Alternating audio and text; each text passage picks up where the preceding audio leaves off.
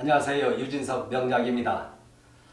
사주 원국에 자가 있는 사람 그리고 대운에서 자대운이 들어온 사람들 한번 참고해 보시기 바랍니다. 특히 자대운에서 일어나는 현상들 오늘 이 부분을 제가 이야기하고자 합니다. 고서에 나와 있는 것을 제가 그것을 습득하고 사주 상담하면서 겪어보니 이것만큼은 참으로 많이 맞추더라 맞더라. 그래서 여러분들에게 그것을 공개하고자 합니다. 여러분 한번 참고해 보시기 바랍니다. 자 사주 원국에 자대운이 있는 사람이 있습니다. 자대운 자대운이 들어온 사람들. 사주 대운에서 사주 대운에서 자대운이 들어온 사람들. 자대운. 뭘 알아야 하느냐? 자대운에 들어온 사람들. 첫 번째는 뭐냐 바람이다 이렇게 이야기죠. 바람. 바람을 피운다 이걸 이야기죠. 바람을 피워도 들키는 바람이냐 안 들키는 바람이냐 안 들킨다 이걸 이야기했죠. 감쪽같이 한다.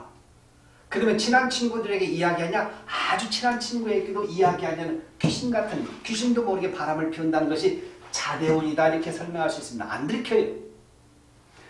그 다음에 자대운이들은 뭘 아냐 상복을 해보자 상복을 해보죠. 상복.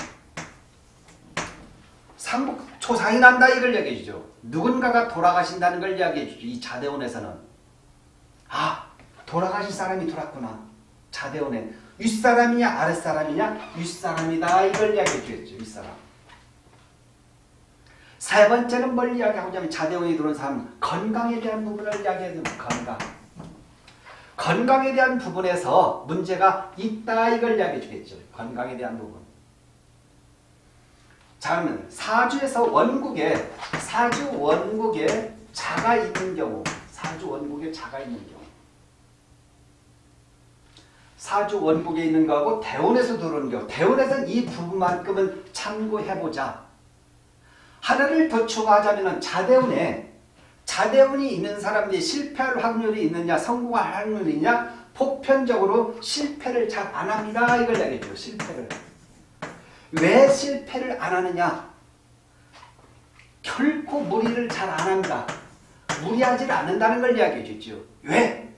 자대운이 들어온 사람들은 이것이 많다 이 말에 이것이 의심. 의심. 의심이 많기 때문에 아주 돌다 두드리듯이 도들, 두드리기 때문에 함부로 어떤 일에 대해서 실패하는 확률이 극히 둡니다. 100명이라면 거의 95명 정도는 돌다 두드리고 합니다. 격이 아주 안 좋은 사람 그 중에 일부 있지만 대부분이 자대운이 있을 때는 크게 실패는 하지 않습니다. 다르게 이야기하면 이 자대운에 있는 사람들은 큰 모험을 하지를 않는다 이걸 이야기해 주겠죠.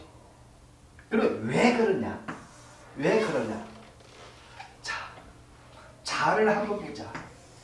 이 자는 계절로는 겨울을 이야기합니다. 겨울. 겨울을 이야기하고 12월 달을 이야기합니다. 12월 보통 한 5일에서 1월 5일경을 이야기합니다. 양력으로. 한 겨울이죠. 이 겨울인데 이 잘은 춥고 냉하다는 걸 이야기죠. 춥고 냉하다 이걸 이야기죠. 뭘 이야기하려고 하냐. 춥고 냉하다. 춥고 냉하다 한 것은 겨울이기 사람이 쫄아 있다는 걸 이야기해 주겠죠. 쫄아 있기 때문에 잘하는 글자는 근본적으로 자가 있는 사람들은 매사가 조심스럽고 의심이 많다 이걸 얘기 쥐띠들이 보편적으로 의심이 가장 많습니다. 겁도 많아요. 겁 많습니다. 돌아 있다는 걸 얘기죠. 춥고 냉하기 때문에 실수를 안 하려고 하고 남에게 싫은 소리를 안 하려고 하겠죠. 자 그런데 자대운이 들어왔을 때는 더욱더 그 현상이 심하게 일어나기 때문에 돌다리 두들고 의심이 많으니까 실수를 안 하려고 한다는 걸 이야기해 주겠죠. 사주 대운에서 이걸 들어올 때 자대운이 들어올 때 어떤 식으로 이런 부분을 해결을 해야 하느냐 이 상복이라는 것은 어떤 거냐 상담하다 보면 내 부모님이 자신의 부모님이 이제 아니면은 상대 와이프나 아니면은 남편 쪽에 그쪽에 어른들이 돌아가실 수 있기 때문에 이 자대운이 들어올 때는 뭔가 상속 문제가 있다면 상속해야 할 거는 부동산 문제가 개입이 됐다면 빨리 이런 부분에 대해서 선점하고 치고 나가야 한다. 거기에 대해서 잘 풀어나가라 이걸 이야기해 주는 것이죠. 미리 알려주는 것이죠. 두 번째는 부모님을 모시거나 어른을 모실 수 있는 시간이 그렇게 길지는 않다는 걸 이야기해 주겠죠. 그렇기 때문에 상복이 들어오는 것은 거기에 대해서 우리가 자대의 될 때는 빨리 거기에 맞춰가지고 슬기롭게 그 부분을 해결하고 풀어나가는 것이 좋다. 나중에 돌아가시고 난 다음에 후회하고 그럴 필요가 없다. 이걸 이야기하겠죠.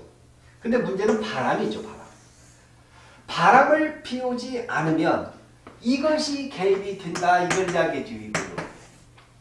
바람을 피우는 경우가 많고 자대운에 그런데 그렇지 않으면 이혼에 관계된 부분을 가장 많이 생각을 한다는 걸 이야기해 주죠.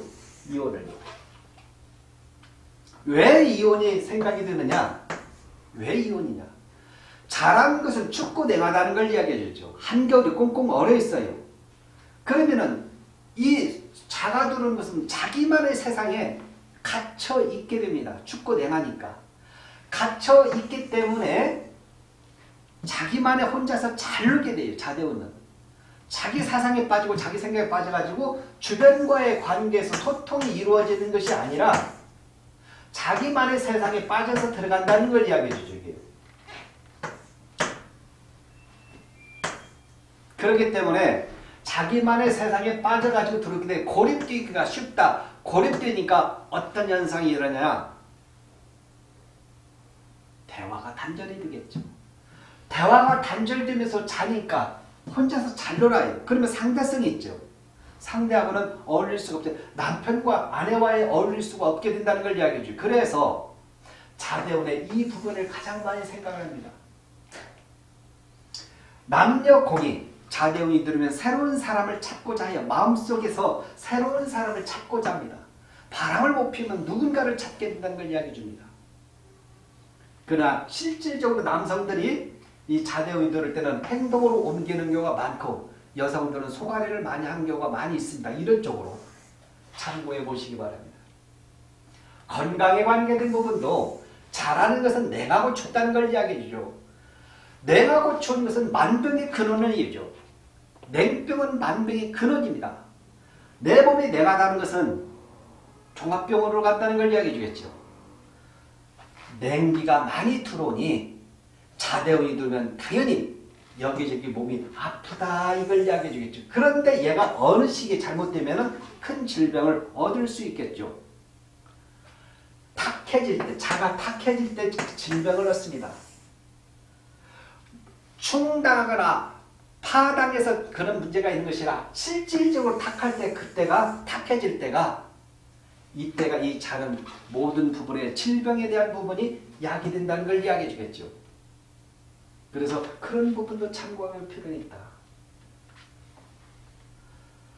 사주원국에서 사주원국에서 자가 있을 때 가장 먼저 볼 것은 뭐냐면 수생목이 되느냐 이걸 이야기해 주죠. 물인데 수생목 나무를 생해줄 수 있느냐를 봐야 한다는 거죠. 그러면 사주에서 수생목이 뭐가 중요하느냐? 중요하죠. 물을 가지고 있는데 얘가 나무를 키워줄 수 있는 물을 이냐 못 키워주냐에 따라서 굉장히 중요하다는 걸 이야기해 줍니다. 만약에 예를 들면 자가 있는데 자가 한 겨울에 자다 이렇게 보세요. 자. 잔데 여기다 을목을 갖고 있다 이걸 이야기해 줘요. 을목. 그러면 얘가 수생목을 해주느냐? 자는 인성이죠. 학문 공부고 어머니 육친관계에서 어머니를 이야기해 주는데 어머니의 수생목을 받느냐 을목이 굉장히 중요해요. 받았냐 못 받느냐 받아서 얘가 성장했느냐 못했냐를 볼 수 있기 때문에 굉장히 중요하다는 걸 이야기해요. 그러면 여기서 수생목이 안 됐다는 거죠. 왜?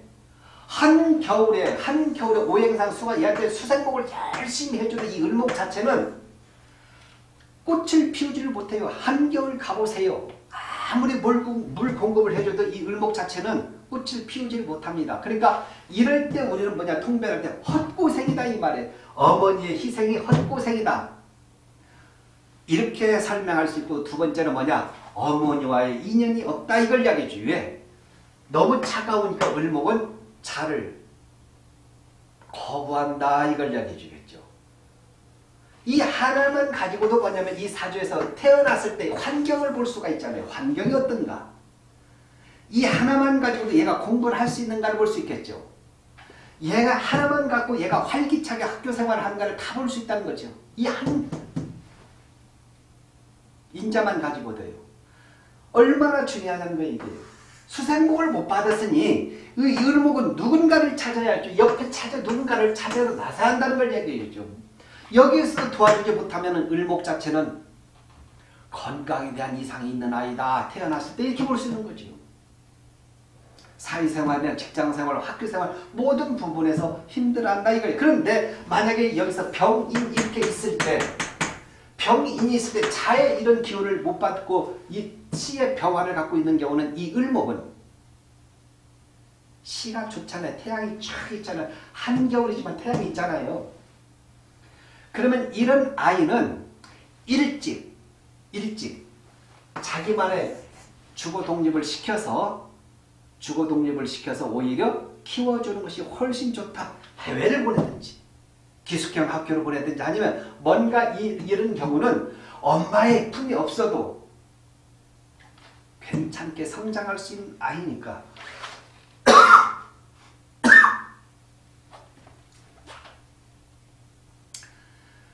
그런 식으로 이 아이를 핸들링 해줘야겠죠. 이런 경우는 이제 이렇게 보면은 제가 즉흥적으로 적었지만은 만약에 예를 들면은 어머니가 이렇게 이야기죠. 내가 이 녀석에게 온갖 최선을 다했지만 얘는 내 말을 듣지를 않습니다. 이렇게 나오죠. 그럼 맞습니다. 하겠죠. 그러면 끊으세요. 이걸 이야기해 주죠. 끊으면 어떻게 됩니까? 을목이 그냥 여기 자, 자라요. 가요. 그래서 이런 경우는 지대하게 희생할 필요가 없다 이렇게 설명할 수 있겠죠. 그것은 헛고생이다 이렇게 설명할 수가 있겠죠. 사주에서 사주 원국에 사주 원국에 자가 있는데 얘가 수생목을 해주느냐 수생목을 못하느냐 굉장히 중요하다. 또 위치에 따라서 굉장히 중요합니다. 같은 자라도 여기에 있는 자하고 여기에 있는 자하고 전혀 다릅니다. 이런 부분이 여러분들이 선명하게 나타나줘야 한다는 걸 얘기죠. 아래 한다는 걸 이야기합니다. 장명에서도 혹시 이렇게 자월에 있는 자월에 태어난 사람들은 가장 여러분들이 실패, 실수할 수 있는 것이 장명하시면서 자월에 태어난가 무조건 추우니까 오행상 화를 갖고 집어넣자. 화 중에서 병화냐 정화냐 이걸 이야기하죠. 병화 정화 이것도 자제해내야 돼요. 화를 갖고 잡아주면 잘못하면 평생 서로가 힘들고 이렇게 삽니다. 상전이 일어나요. 상전. 물과 불이 상전이 일어나니까 반드시 토가 먼저 들어와 주라 이걸 얘기죠. 토국수를 해줘야만이 이 화가 그대로 안전하게 산다는 걸 얘기해요. 왜? 토가 먼저 토국수를 했어요. 너 그러지 마. 극하니까 예를 들면 살짝 화가 들어도 얘가 얘를 극하지 못하는 거예요. 얘 견제를 받으니까. 그래서 이렇게 장명을 해줄 때 그것이 살아있는 장명이 되고 이름바를 역할을 한다. 이걸 이야기해 줄 수 있다는 거죠. 이런 부분이 장명의 3원 5행의 중심으로 잡혔을 때 최고 좋은 이름이다. 이렇게 설명할 수가 있습니다. 어쨌든 이것은 많은 사람들이 실수를 해요. 한겨울 추우니까 무조건 화를 집어넣고 하는데 그러다 보면 계속 힘든 일을 많이 겪게 됩니다.